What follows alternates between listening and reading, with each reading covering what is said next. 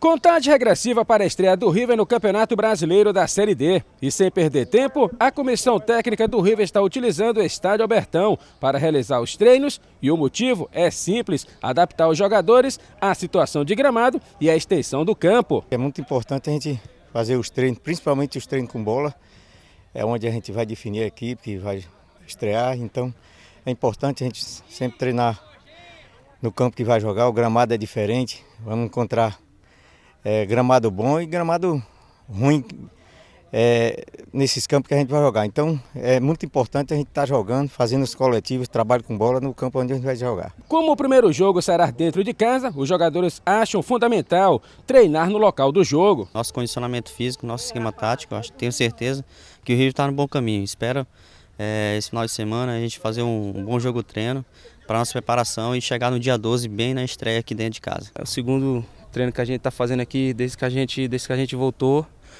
É, esse campo aqui, como a gente conhece, é um campo muito grande, né? Eu acho que as equipes que vêm jogar aqui sentem um pouco de dificuldade, então a gente tem que estar sempre aqui para que é, a gente possa manter é, treinando sempre nesse campo para que a gente possa conhecer o campo direito. Com um elenco bem entrosado, agora é fazer o dever de casa dentro do Brasileirão. Isso significa vencer os quatro jogos aqui em seus domínios. Temos que aproveitar o máximo possível. Acho que dentro de casa temos que ser 100%. Acho que o River está nesse pensamento, todo mundo focado, querendo. Acho que mais do que nunca não deixar escapar. Acho que a vitória, cada a passo a passo, vai ser muito importante para nós a vitória dentro de casa. A gente tira aí pelo pelo ano, o ano passado, né? Empatou muito, muitos jogos em casa e complicou lá na, lá na frente. Então, acho que esse primeiro jogo no dia 12 a gente já tem que, tem que pontuar para que a gente possa sempre tá, sempre tá ganhando os jogos aqui dentro. O primeiro jogo do River vai acontecer aqui em Teresina, dentro do estádio Albertão. O primeiro adversário seria a equipe do Interporto, que pediu para sair da competição. Neste caso,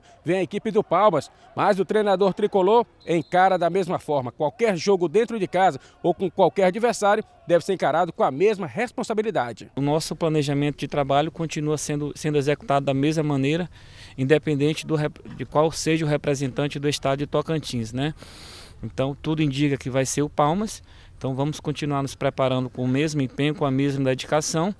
Logicamente que sempre respeitando, não subestimando de maneira nenhuma a capacidade da equipe do Palma, mesmo tendo pouquíssimo tempo de preparação. Com o primeiro amistoso marcado para o sábado, Flávio Araújo espera ter sua equipe base já para o jogo da estreia. A gente inicia o jogo com o time base. Logicamente que durante o jogo a gente faz alterações, como vamos fazer aqui nos treinamentos também, para a gente sentir né, o estado atual de todos os 31 atletas que compõem a equipe do, do River.